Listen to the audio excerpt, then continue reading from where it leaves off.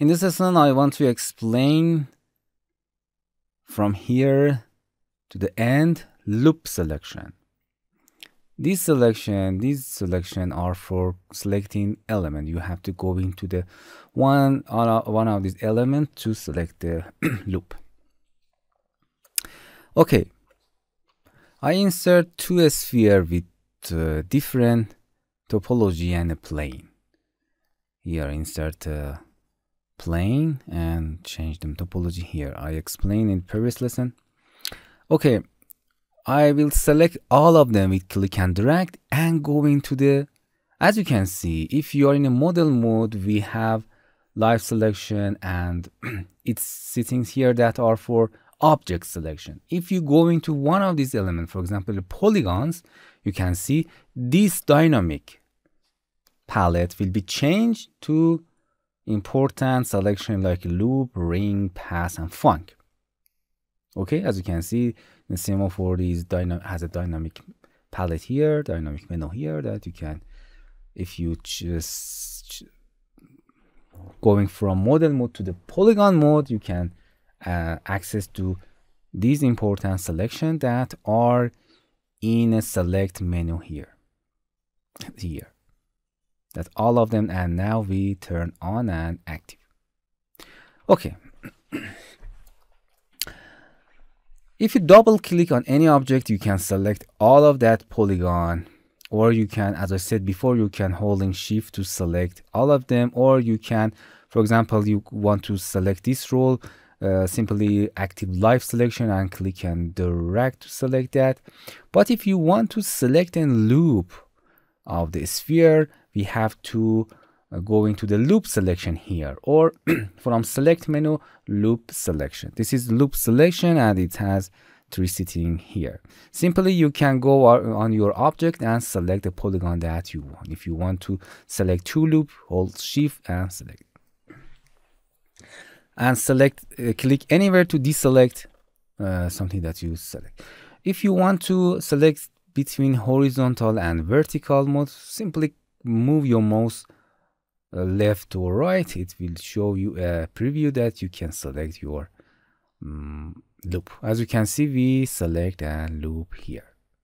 Okay stop at selection or we can select a loop here for example. As you can see we have a different topology here and the software simply uh, flows that topology and select your loop. In this situation that we have a flat plane the loop is select all of this roll straight for you. Okay for example i go into the move tool and select for example here in this case and going to the loop selection here. As you can see if you uh, this uh, option is untick if you select this rule as you can see our select overlap the last selection if you take and stop at the selection as you can see the select does not overlap the last selection and you can hold shift to select this rule rules and our previous selection this is a stop at selection stop at selection and then uh, move over that and go its way. Okay, you can use it. A stop at non-quad. They are deactivated because we have to go into the another component. You can select loop, simply edge loop. You can go into the edge mode and select your edge loop simply here. And now those options will be active and you can see stop add non-polygon. Okay, for example, I go into the and click this object, this element, this edge and right click and I dissolve it for deleting that. And now we have an n-gon here. I want to give an example, okay? And going to the loop selection for edge and simply as you can see if uh, the selection uh, reach here, it's turn from the n-gon and go that way and select like this. If you want to uh, the loop selection past this n-gon, you have to click stop at the non-quad. As you can see, it's passed over the n-gon and continue its way. And select like this. This is stop at n. Stop at the pole. Here, we have a pole as you can see for example in this uh, edge we have coming here and the uh, edge follows uh, divided in a two way. This point is poles. And uh, for example if you are in a loop selection as you can see if uh, you go into here the software is automatically change its way you can select a loop. Just can drag just drag a mouse over your edge and you can select which way you want to go. If you tick stop at the pole as you can see the software stop at this pole and don't go more away. Sorry. And you can select like this. It does not select the loop. Stop at the um, poles.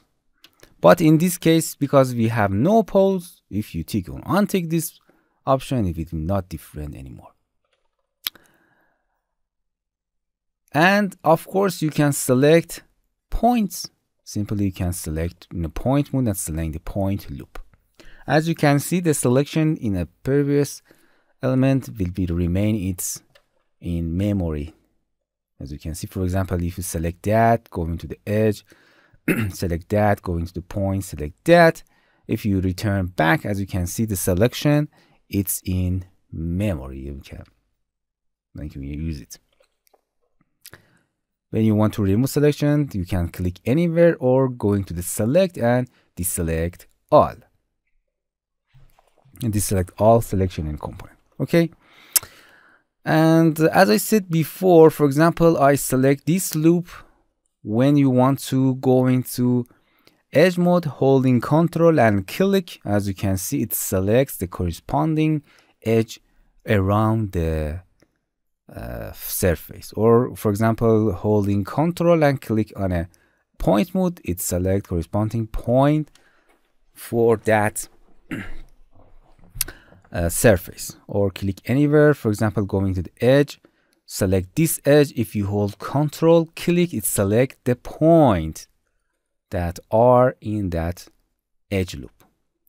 So you can move between them with a control. That's the technique that I tell you. That's loop. Simple and easy. You can select your loop element here.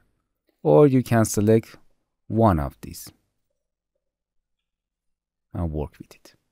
Hello my friends, to continue these tutorials on YouTube, subscribe us, like us and hit the bell icon. And now you will be alerted about all of the amazing videos that we release.